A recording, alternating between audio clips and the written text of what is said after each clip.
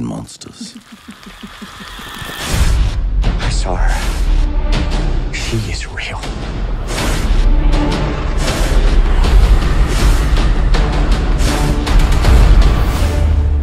Please meet Princess Amunet.